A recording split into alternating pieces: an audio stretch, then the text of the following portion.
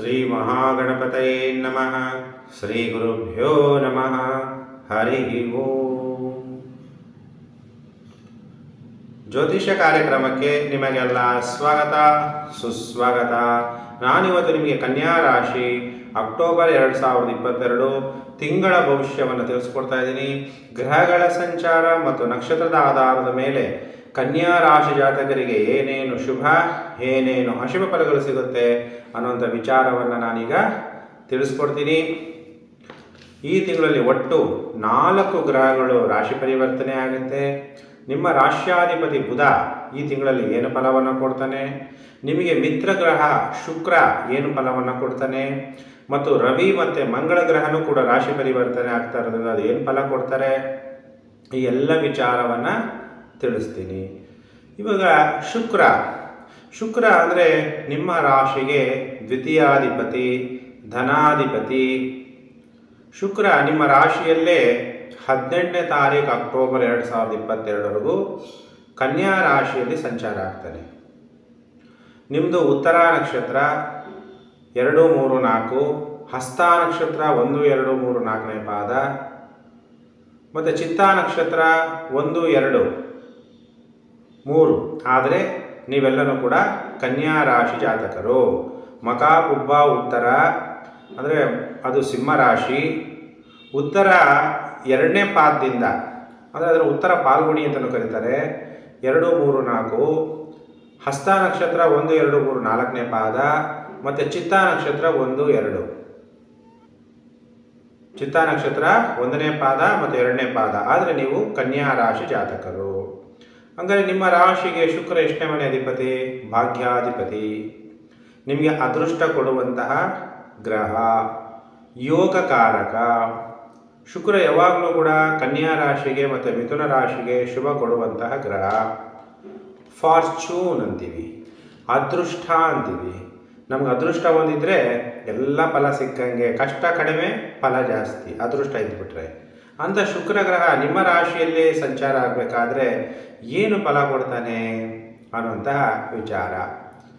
ಪ್ರಥಮ ಗೃಹಪಗೋ ಭೃಗುಸುತಃ ಸ್ವರೂಪೋ ಕರುಣೌ ಸುರವಿ ಮನೋಜ್ಞಾನಾಂದ, ಕುಸುಮಾಂಬರೌ, ರೂಪಚಯಂ ರೂಪಚಯಂ ಅಂತ ಹೇಳಲಾಗತ್ತೆ. ಏನು ಶುಕ್ರ ಕೊಡ್ತಾನೆ? ಶುಭ ಫಲಗಳು. ನಿಮ್ಮ ಆಸೆ ಆಕಾಂಕ್ಷೆಗಳೆಲ್ಲ ಈಡೇರಿಸ್ತಾನೆ. ನಿಮಗೆ ಈ ಟೈಮಲ್ಲಿ ಶುಕ್ರ ನಿಮ್ಮ ಲಗ್ನ ನಿಮ್ಮದು ಕನ್ಯಾ ಲಗ್ನನೋ, ಕನ್ಯಾ ರಾಶಿನೋ, ಆದರೆ ಚಂದ್ರ ಜೊತೆಗೆ ಶುಕ್ರ ಸೇರಿದಾಗ ಒಳ್ಳೆ ಘಮ ಆಗಿರುವಂತಹ ಕೆಲವರು ನೋಡಿ ಸೆಂಟು ಪರ್ಫ್ಯೂಮ್ಸ್ ಅವ್ರ ಹತ್ರ ಬಂದ ತಕ್ಷಣ ಒಳ್ಳೆ ಸ್ಮೆಲ್ ಬರ್ತಾ ಇರುತ್ತೆ. Body spray fragrant attractive perfumes ಇನ್ನು ಹಳ್ಳಿ ಕಡೆಯಲ್ಲಿದ್ದರೆ ಒಳ್ಳೊಳ್ಳೆ ಘಮ ಅನ್ನುವಂತಹ ಮಲ್ಲಿಗೆ ಹೂಗಳ ವಾಸನೆ, ಆ ಹೂಗಳನ್ನ ಜಡೆಗೆ ಮುಟ್ಕೊಂತಾರೆ ಹೆಣ್ಮಕ್ಳು. ಯಾವಾಗ ನಮ್ಮ ರಾಶಿಯಲ್ಲಿ ಅಥವಾ ನಮ್ಮ ಲಗ್ನದಲ್ಲಿ ಶುಕ್ರ ಬಂದಾಗ ನಾವು ಬೇರೆಯವರಿಗೆ ಅಟ್ರಾಕ್ಷನ್ ಆಗೋ ರೀತಿಯಲ್ಲಿ ನಾವು ನಮ್ಮನ್ನು ಡ್ರೆಸ್ ಕೋಡ್ ಮಾಡ್ಕೊತೀವಿ. ಅದಕ್ಕೆ ಸಮ್ ಇಂಗ್ಲೀಷಲ್ಲಿ ಗುರುಜಿ ನಾನಿರೋದು ತುಳು, ಕೊಂಕಣಿ, ನನಗೆ ಸ್ವಲ್ಪ ಇಂಗ್ಲೀಷಲ್ಲಿ ಹೇಳಿ ಅಂದಾಗ ವೆನ್ ವೀನಸ್ ಪಾಸಸ್ ಥ್ರೂ ಜನ್ಮರಾಶಿ You confirm confers on a person all kinds of erotic requests fragrant attractive perfumes flowers garments coaches houses seeds and tasty dishes. Consequently, you will act like a bee on the lotus of the face of an intoxicated young beloved. ನೀವು ಹೆಂಗೆ ಕಾಣಿಸ್ತೀರಿ ತುಂಬ attractive ಆಗಿ ಕಾಣಿಸ್ತೀರ? ಶುಕ್ರ ಲಗ್ನದಲ್ಲಿ ಬಂದ್ಬಿಟ್ಟ ಅಥವಾ ರಾಶಿನಲ್ಲಿ ಬಂದ್ಬಿಟ್ಟ ಅಂದಾಗ ನಿಮ್ಮ ಫೇಸು ಬೇರೆಯವ್ರಿಗೆ, ನೀವು ಪುರುಷರಾಗಿದ್ದರೆ ಸ್ತ್ರೀಯರಿಗೆ ತುಂಬ ಅಟ್ರಾಕ್ಟಿವ್ ಆಗಿ ಕಾಣಿಸ್ತೀರಾ? ನೀವು ಸ್ತ್ರೀ ಆಗಿದ್ದರೆ ಪುರುಷನಿಗೆ ಆಪೋಸಿಟ್ ಜೆಂಡರ್ ಯಾರಿರ್ತಾರೋ ಅವರಿಗೆ ತುಂಬ ಅಟ್ರಾಕ್ಟಿವ್ ಆಗಿ ಕಾಣಿಸ್ತೀರಾ? ಈ ಸಮಯದಲ್ಲಿ ನಿಮಗೆ ಶುಕ್ರ ಅಂದರೆ ಒಳ್ಳೊಳ್ಳೆ ಉಡುಪುಗಳನ್ನ ಧರಿಸ್ಬೇಕು. ಕೆಲವು ಹೊಸ ಹೊಸ ಬಟ್ಟೆಗಳು ತಂದು ಸುಮ್ಮನೆ ಬೀರುಲಿಟ್ಟಿರ್ತೀರ? ಈ ಶುಕ್ರ ಏನಾದರೂ ನಿಮ್ಮ ರಾಶಿಗೆ ಸಂಚಾರ ಆಗ್ತಾ ಇರೋ ಟೈಮಲ್ಲಿ ಒಳ್ಳೆ ಬಟ್ಟೆ ಹಾಕೋಬೇಕಪ್ಪ. ಹೆಣ್ಮಕ್ಳು ಸೀರೆ ಪಿನ್ ಮಾಡ್ಕೋಬೇಕು. ನೋಡೋಕ್ಕೆ ಚೆನ್ನಾಗಿ ಕಾಣಬೇಕು, ಒಳ್ಳೊಳ್ಳೆ ಡ್ರೆಸ್ಸಸ್ಸು ಅದು ಕನ್ನಿಯರಾದರೆ ಒಳ್ಳೊಳ್ಳೆ ಡ್ರೆಸ್ಸಸ್ ಹಾಕ್ತೀರ ಚೂಡಿದಾರು ಇಲ್ಲಿ ಬೇಕಾದಷ್ಟು dresses attractive dresses attractive perfumes perfumes ಬೇರೆಗೆ attract ಆಗೋ ಥರ.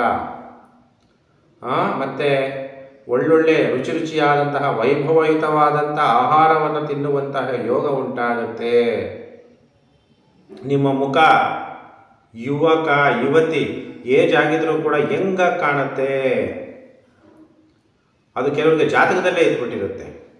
ಅದು ಕನ್ಯಾ ರಾಶಿ ಅಥವಾ ಕನ್ಯಾ ಲಗ್ನ ಅಂದರೆ ಏಜ್ ಆಗಿದ್ರೂ ಕೂಡ ಕಡಿಮೆ ಏಜ್ನಂತೆ ಕಾಣ್ತೀರಾ? ಇವಾಗ ಭಾಗ್ಯಾಧಿಪತಿನೇ ರಾಶಿಗೆ ಬಂದಾಗ ಇವೆಲ್ಲ ಶುಭ ಫಲಗಳು ಸಿಗುತ್ತೆ. ಗುರುಜಿ ಅಂದರೆ ಶುಕ್ರ ಹದಿನೆಂಟನೇ ತಾರೀಕು ಮೇಲೆ ಅಕ್ಟೋಬರ್ ಎರಡು ಸಾವಿರದ ಇಪ್ಪತ್ತೆರಡು ತನ್ನ ಸ್ವಕ್ಷೇತ್ರ ತುಲಾ ರಾಶಿ ತುಲಾ ರಾಶಿ ಅಧಿಪತಿ ಯಾರು? ಶುಕ್ರ. ಶುಕ್ರ ಸಂಚಾರ ದ್ವಿತೀಯ ಸ್ಥಾನದಲ್ಲಿ ಸಂಚಾರ ಆಗ್ತಾನೆ. ಭಾಗ್ಯಾಧಿಪತಿ ದ್ವಿತೀಯದಲ್ಲಿ ಸಂಚಾರ ಆಗಬೇಕಾದ್ರೆ ಧನ. ನಿಮಗೆ ಧನ ಹೇಗೆ ಬರುತ್ತೆ? ನಿಮ್ಮ ಭಾಗ್ಯದಿಂದ ಧನ. ನಿಮ್ಮ ಅದೃಷ್ಟದಿಂದ ದನ, ನಿಮ್ಮ ತಂದೆಯಿಂದ ದನ. ನೀವು ದೇವಸ್ಥಾನಗಳಲ್ಲಿ ಪುರೋಹಿತರಾಗಿದ್ದರೆ ಅಥವಾ ಜ್ಯೋತಿಷಿಗಳಾಗಿದ್ದರೆ ಟೀಚರ್ಸ್ ಆಗಿದ್ದರೆ ನಿಮಗೆ ಒಳ್ಳೆ ಧನಲಾಭ ಲೆಕ್ಚರರ್ಸ್ ಟ್ಯೂಷನ್ ಸೆಂಟರ್ಗಳು ನಡೆಸುವಂಥವ್ರು ಇವ್ರಿಗೆಲ್ಲ ಭಾಗ್ಯೋದಯ ಉಂಟಾಗುತ್ತೆ ಧನಲಾಭ ಉಂಟಾಗುತ್ತೆ. ತಂದೆಯ ವೃತ್ತಿ ಯಾರು ಮಾಡ್ತಾ ಇದ್ದೀರಾ? ಅವ್ರಿಗೆ ತಂದೆಯ ಕಡೆಯಿಂದ ಧನ ಶುಕ್ರೇ ದ್ವಿತೀಯ ಗ್ರಹಗೆ ಪ್ರಸವಾರ್ಥ ಧಾನ್ಯ, ಭೂಪಾಲ ಸಂತಾನದ ಕುಟುಂಬ, ಹಿತಾನ್ಯ, ವಾಪ್ಯ ಅಂತ ಹೇಳಾಗುತ್ತೆ. ಜಾತಕರಿಗೆ ಆದಾಯ, ದಾಂಪತ್ಯ ಸುಖ, ಕುಟುಂಬ ಸುಖ, ಯಾಕೆಂದರೆ ದ್ವಿತೀಯ ಭಾವ ಅಂದರೆ ಕುಟುಂಬ ಭಾವ, ಕುಟುಂಬ ಸುಖ, ರತ್ನ ಮತ್ತು ಆಭರಣಗಳು, ಆದಾಯ ಹರಿದು ಬರುತ್ತೆ. ಧನಾದಾಯ. ಧನ ಅಂದರೆ ಯಾವಾಗಲೂ ಫೈನಾನ್ಸ್ ಒಂದೇ ಕಡೆ ಇರಲ್ಲ, ಅದು ಹರಿತಾ ಇರುತ್ತೆ, ಅಂತ ದುಡ್ಡು ಬರುತ್ತೆ. ಆ ಯಾವುದು?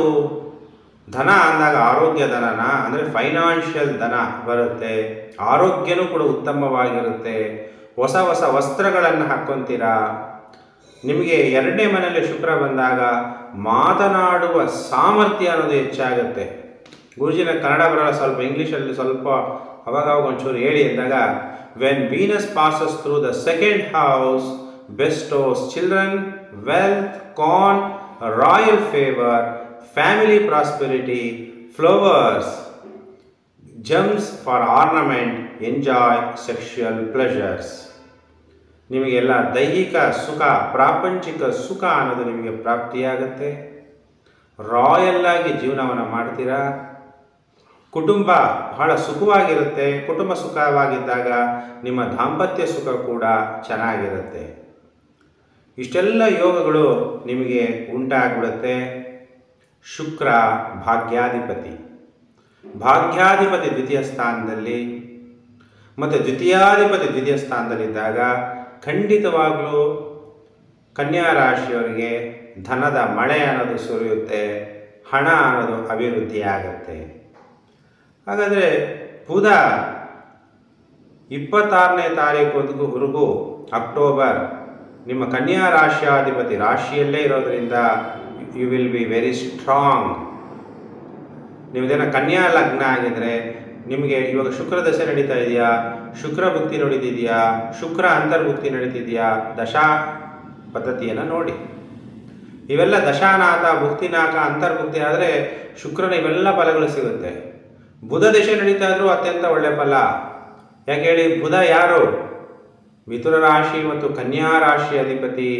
ಬುಧ ವೆರಿ ಸ್ಟ್ರಾಂಗ್ ಯಾವ ಪೊಸಿಷನಲ್ಲಿ ಕನ್ಯಾ ರಾಶಿಯಲ್ಲಿ ಬುಧ ಸ್ಟ್ರಾಂಗ್ ಆಗಿಬಿಡ್ತಾನೆ ಅಂದರೆ ದಿಗ್ಬಲ ಫಲ ಅನ್ನೋದು ಹೆಚ್ಚಾಗುತ್ತೆ.